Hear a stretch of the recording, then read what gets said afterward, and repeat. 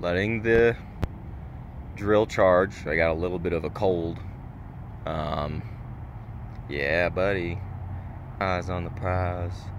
Um, Freedom Transport. American Pie. But yeah, um,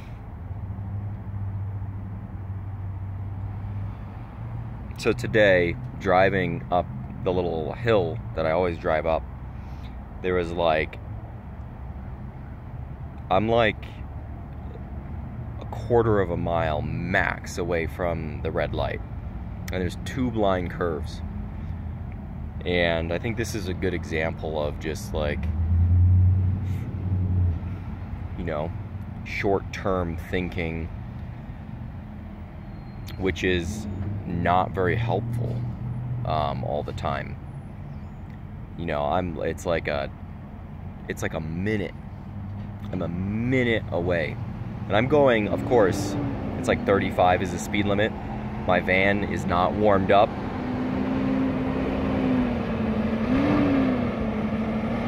You know. Um, we'll let the noisy truck drive by. Freight lines something with pride. Um, so, or driven with pride, I think is what it said. Um, so, you know, it's like I'm going, you know, I'm going like 20 under the speed limit, uh, or I'm going like 10 under the speed limit. Sometimes, you know, I'm like 20 miles an hour, it's 35, um, or it's like 30 or something like that. So I'm significantly going way under the speed limit. And my vehicle's not warm. I've got a really heavy trailer on a smaller engine. Um, and around these blind curves, like every time I drive, there's like five people. I would say probably like 90% of the time, people gun it around me, crossing over a double yellow on a blind curve or a relatively blind curve, gun it around me, breaking the law to get around me. And I'm, t- I'm telling you, I'm like 400 feet from the stoplight. Half the time, what happens is they get to the red light, and by the time I'm there, it turns green because they turn the sensor off. So I'm like, whatever. Like, but I think that's a good example of just an inability to master patience and it's prevalent.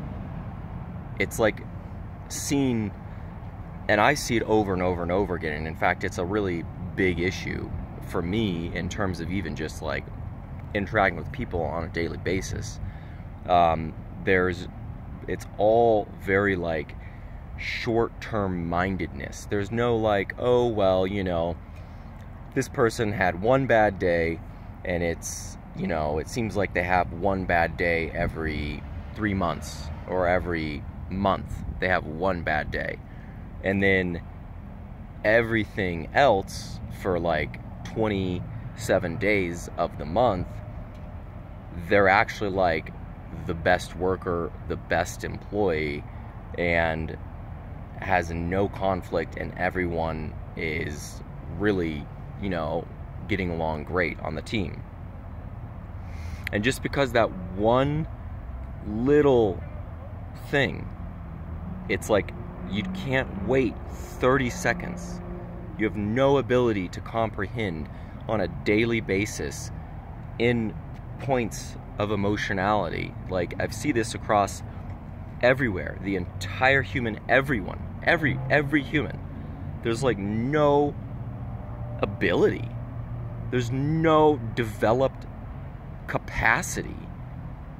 We're talking about the most powerful, wealthy people. We're talking about the poorest people in many regards. We're talking about middle class. We're talking about everyone. It, it seems like there's just like a an opportunity for us all to be able to be like, okay, there's one thing that I don't like but you know what? You know, like over half of it is something I like, and then you know, whatever. The other half doesn't necessarily offend me. There's just one thing I don't like. And there's this like short term mindedness and narrow mindedness. Like it's called my, myopia or, or myopic thinking. You're not, your minds aren't open. That's why the Dolo guy's talking about all possibilities being God. Like you don't even know, like it's like that type of mindset isn't even like it doesn't appear to even be respected, much less contemplated upon. Like, you know, you have a family and you're driving around me on a blind curve instead of waiting a minute, setting an example of patience. Even though I'm going slower than the speed limit, I understand it's not perfect. I understand we all, you know, got things that we want to get done. But in that in that fraction of a second, in that those 10 seconds where you're cross the double line, flying past someone on a blind curve, it's possible you're going to get on a, a head on fucking collision and cause a wreck and destroy your entire life and destroy the entire life of an entire family.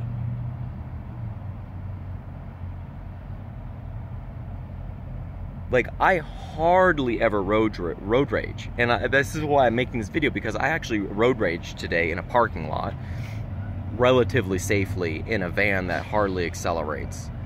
Um, I was just trying to run and get my my new tires, not be too late, and um, I road raged, and I this car just cut me off. It's like, what about the times when I'm in a hurry? I'm never in a hurry. I'm never speeding. I'm never, you know, I always try to wave people by. I'm really polite, you know. I'm that's that's my general state, how I am. I like please, you know. Um, but some days, you know what? You're gonna wreck your entire fucking family in your vehicle, and your little baby's gonna fly out the fucking front window and smash its fucking face and eyeballs and all its teeth into the fucking asphalt. Some days. That's called reality eventually that's gonna happen.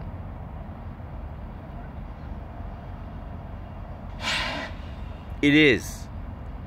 Sometimes I'm in a hurry, which is very rare, very rare. And sometimes I don't appreciate it, very rarely. This is the first time I road raged in like and it hardly road raged. I just honked and drove past.